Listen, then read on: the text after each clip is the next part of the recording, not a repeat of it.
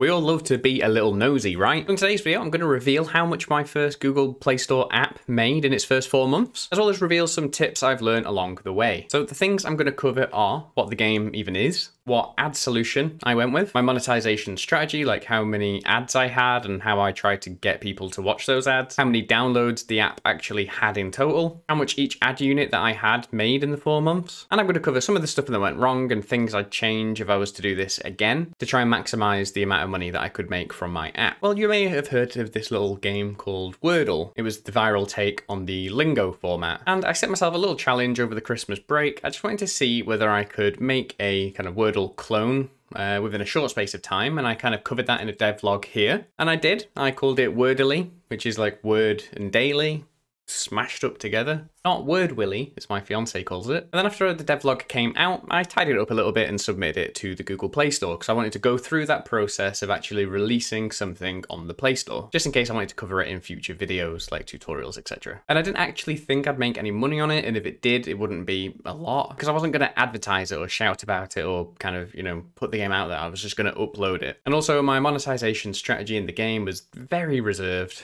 So let's talk about that. So the game initially launched with just one banner ad, kind of at the bottom of the home screen, uh, and this was using Unity's built-in uh, ad system, which you can access through the Unity editor and kind of install that and plug that service in. And for the sort of week, two weeks that the game was live with Unity ads in place, I earned zero pounds. Ads just weren't getting served. There was no inventory for the ads apparently, and I've kind of looked around and it seems to be quite a bad problem with the Unity ad service. Like no one's paying for like no one's buying Unity Ads. So seeing that, um, I thought, well, this isn't clearly working. I'd have expected to even earn like a pound or something. So I swapped over to Google AdMob. So once this change was done, I actually slowly started seeing money kind of trickle in. I then added a second ad, which was a rewarded video ad. Uh, players could watch an ad and as a reward for watching that video ad, they would be given a score streak, which meant that if they failed guessing that day's word or any other words, their streak would be protected. So, and it was just those two ads. That's all I had in the game. There was no like in-app purchases. There was no ads like every other kind kind of like game. It was literally just a banner ad at the bottom of the screen, and then I, later on, after the game had started to earn a bit of money, I added a second ad, and I added that second uh, rewarded video ad. So how much did those two ads actually make me? Okay, so let me reveal some of those juicy stats you've all been waiting for this quick sponsored message. As you know, games development isn't all about programming. Once you're done prototyping you actually want to start building your game, you're going to need somewhere for your players to run around. And that's where Game Dev TV's new Environment Art course comes in. If you want to make beautiful environments which are suitable for animations, games, or just a stunning portfolio piece, this course is for you. You don't need any experience, this is going to be a ground up course using Blender 3.1. It's project based, so you're going to apply your new skills immediately to real 3D models and it will teach you how to model a range of environment assets building up to the image that you can see in the video here. Grant, the course leader, is going to cover modeling, sculpting, texturing, lighting, rendering, and many more core aspects needed for an environment artist. The course is out now in early access, and if you use the link in the description, you'll be able to take 90% off the course cost. And with that said, let's get back to the video. So first up, how many downloads did my game have? And I've got it kind of here, so I'm going to be looking at my screen, not at you beautiful subscribers, and you are subscribed, right? Um,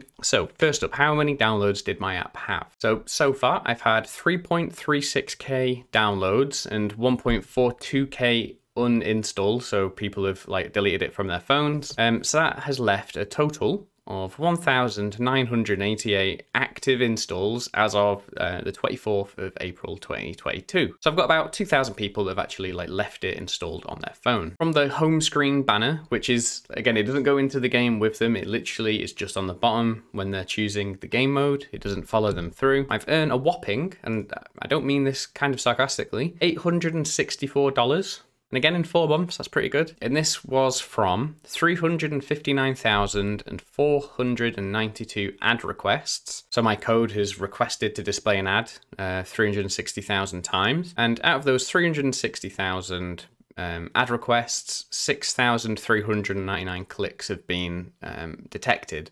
So that's kind of what you're getting paid for. Uh, they pay a little bit more when people actually click. So that's $864. The Streak Protect rewarded video has done dreadfully. Uh, like I said, I added that on later in. I kind of patched that in. That has earned $10 in the three months that it's been live. But that's had 112,510 requests, but it's only had three clicks. Um, so yeah, that that's $10 um, for the rewarded video ad. And I added that in thinking that they'd be worth more because the what you know, you're making a user watch the full 30 seconds ad. But yeah, so in total, in the four months that the game has been live, I've earned from the game and the ads alone, there's two ads, $864, which is around £672. Now I'll give you the stats, just stick around. I'm going to tell you kind of some of the mistakes that I made and kind of some of that I change uh, to possibly earn more in the future. And as a bonus, if you make it all the way to the end of the video, I'm going to reveal how much the YouTube devlog that I showed at the beginning of the video uh, made on YouTube. Just as a little bonus tidbit if you watch all the way to the end. So the first major issue I had was in the first few days, I had a lot of bad reviews. You get ratings and reviews on the App Store. Ratings are people who've just, you know, one to five stars, and reviews are people who've actually written something alongside their rating. And I wasn't checking the store because, as I said, I genuinely wasn't thinking that it was going to make any money. I just wanted to go through the process from the start to the finish of releasing a game on the App Store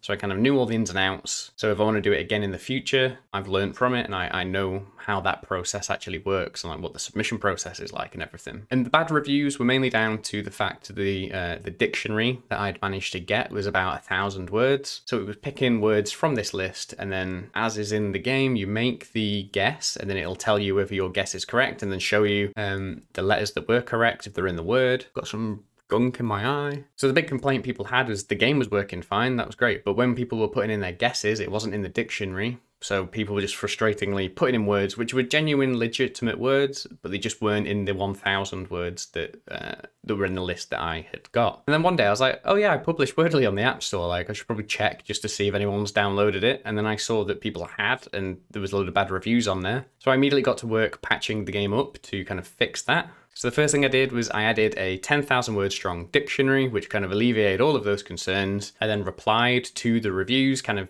when I was in the process of submitting the patch, just saying, hey, it's coming. And then eventually I was like, oh, hey, you know, I've updated the dictionary. If you could like refactor your review. And some people did, they changed it from a one star to a five star. So that was great. And then from that point on, subsequent reviews and ratings were slightly more positive. Now the app is sat at about 3.3 stars as opposed to five. And it doesn't look obviously as good when you're in the listing of other games of that type. And it's not complete by a long way. The dictionary probably still needs updating. Uh, I'm less inclined to update it now because uh, at the height of this Wordle craze, I was getting about $40 a day. Now it's settled to about three to $7 a day. I'm pretty sure that's my fiance making sure she's watching and clicking all of the ads because I tell her to. So if I was to have a do-over, I would definitely have a proper launch plan. I'd, you know, market that the game was coming out, try and build up a bit of buzz, you know, do general just game marketing.